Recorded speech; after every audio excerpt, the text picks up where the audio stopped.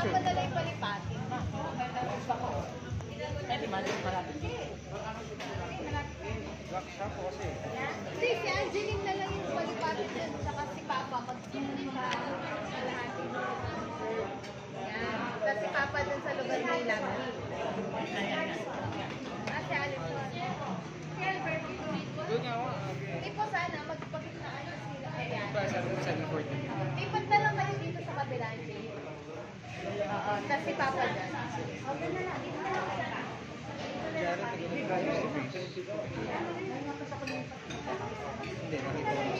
Wala nga kasama ka ba? Na din ito.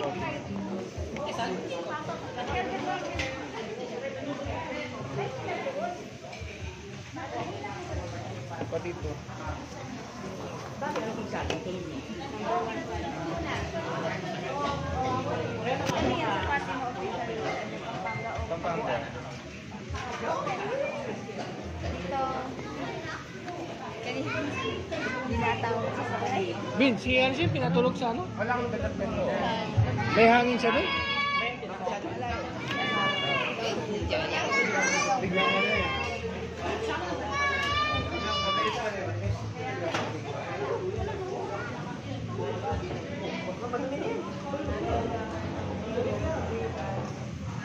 Kumusta na? Anong balita?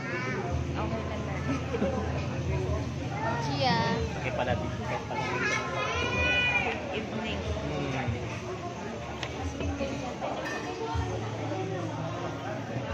Ano? Ano?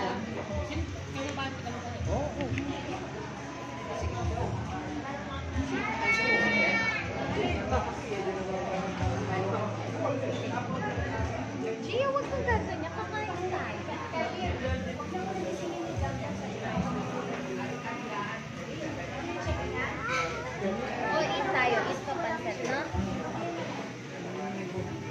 Baka gusto kumain ng bata.